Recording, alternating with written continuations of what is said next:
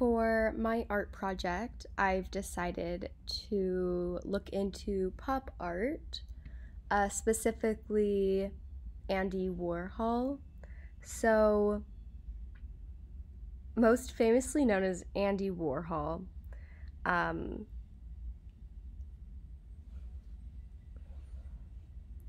So, Andy Warhol was a successful magazine and ad illustrator who became a leading artist around the 60s um, during the pop art movement. He ventured into a wide variety of different forms of art, including performance art, filmmaking, video art, writing, uh, but was kind of known for his controversial blurred lines between fine art and mainstream aesthetic.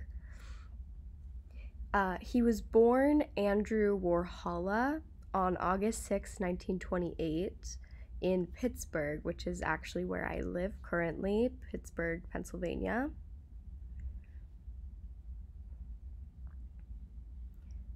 Born Andrew Warhola on August 6, 1928, in the neighborhood of Oakland in Pittsburgh, Pennsylvania.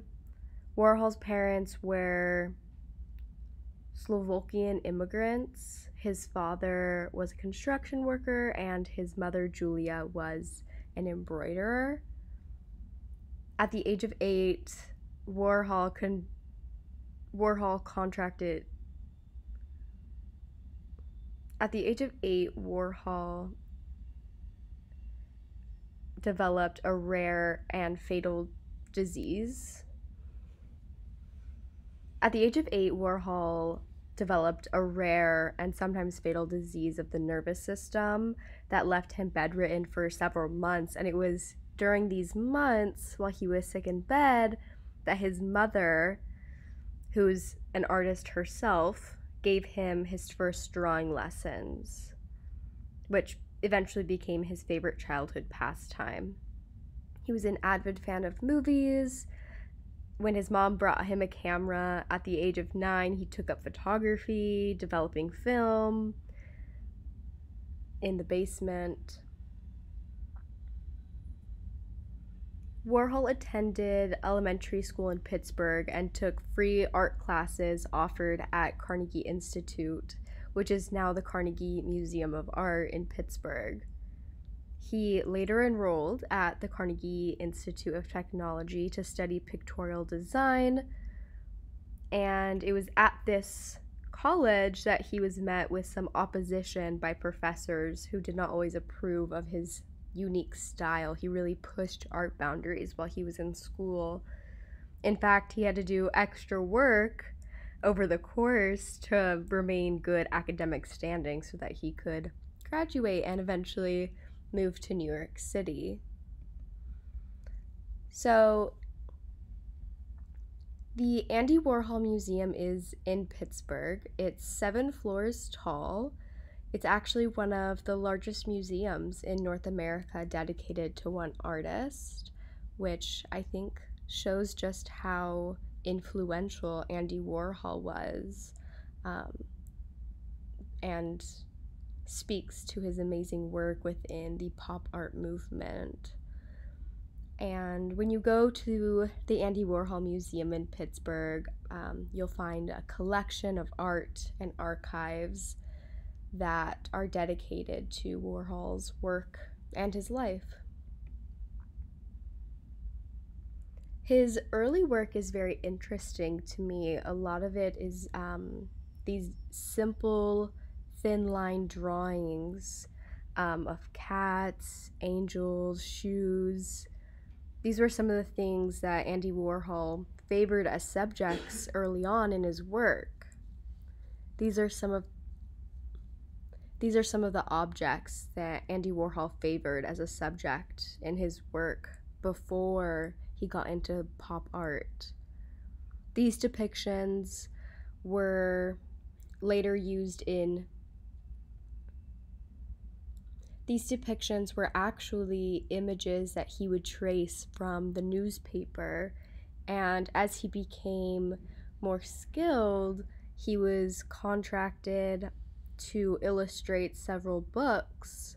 Um, which have been published.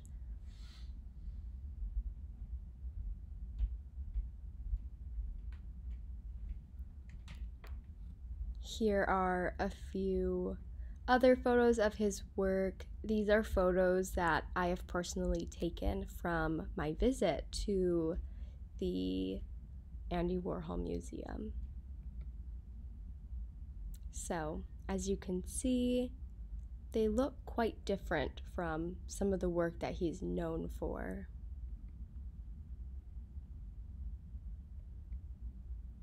Now, getting into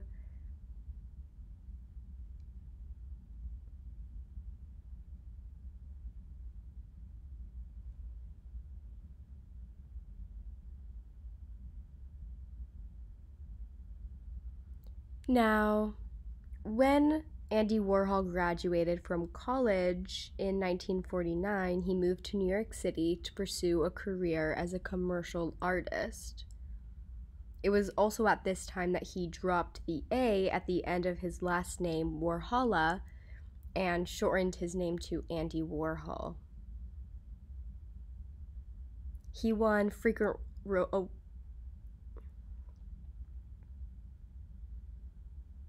Andy Warhol Andy Warhol went on to become one of the most successful commercial artists of the 1950s. He won frequent awards for his uniquely whimsical style, using his own blotted line technique and rubber stamps to create his drawings. As a fine artist, he met great success and was thrilled by the cultural life of New York City he would travel, um, but made him. Andy Warhol would begin traveling around this time, which made him realize that his art ambitions were beyond commercial art, and he began to move toward the iconic style we know today. People will describe pop art as popular, mass produced, witty, glamorous. And Warhol himself once said, once you got pop, you could never see a sign the same way again. And once you thought pop, you could never see America the same way again. Warhol's other faming Warhol's other famous pop paintings depicted Coca Cola bottles, vacuum cleaners, hamburgers. Here, um, a few photos that I saw at the Andy Warhol Museum that are quite well known include the Campbell tomato soup can, Elvis Presley, and Andy Warhol's banana depiction.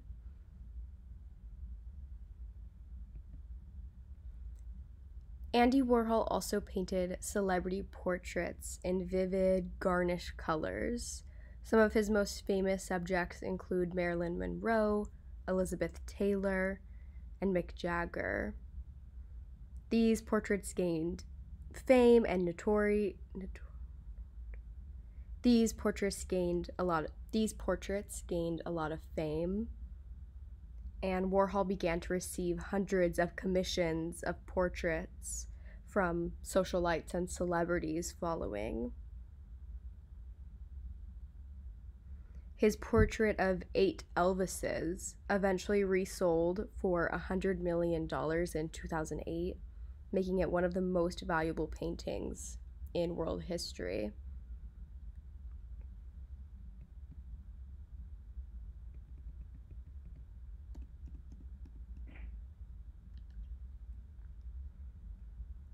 When visiting the Andy Warhol Museum, something that stands out is the number of pictures and art. Something that stands out when visiting the Andy Warhol Museum is the archives of friends and influence that helped shape Andy Warhol. Tally Brown was um, when I visited, there was a exhibit for Tally Brown, who was a flamboyant performer, classically trained vocalist and actress who became what could be known as a Warhol superstar. She would visit Andy Warhol's famous silver factory um, and was featured in filming projects that Andy Warhol would work on. Andy was an avid Andy Warhol was known for collecting not only objects but curating his group of friends and gravitated towards unique talented indiv- gravitated towards unique talented individuals Brown's talent and powerful stage presence made her a natural fit for Warhol's circle, and she went on to appear in several of his movies.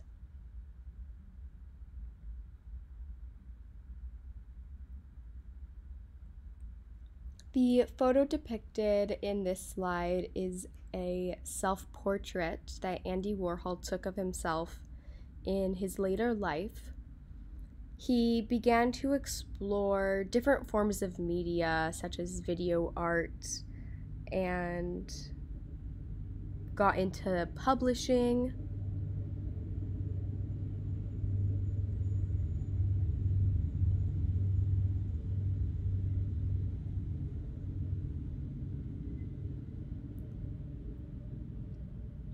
Valerie Jean Solanas was a aspiring writer who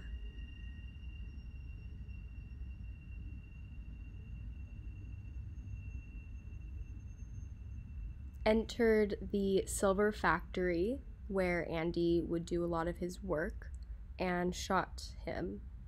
She turned herself in afterwards and was treated for schizophrenia. And Andy Warhol was hospitalized for weeks to recover. After his brush with death in 1968, Warhol became more reserved and concerned about his life. He dealt with financial problems and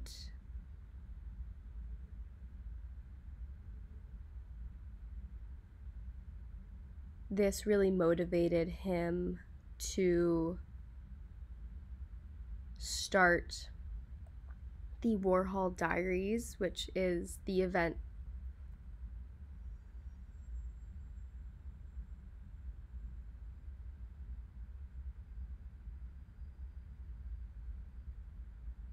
This helped inspire Warhol to continue to explore these other forms of media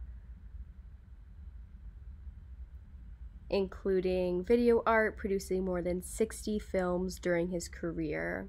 Some of his most famous films include Sleep, which depicts poet John depicts a poet sleeping for 6 hours straight, and Eat, which shows a man eating a mushroom for 45 minutes.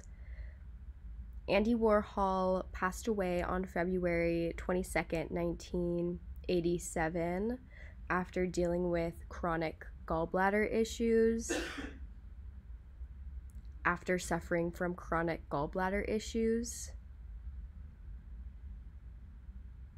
Warhol left a few items to his family, but for the most part, he donated his estate to the arts.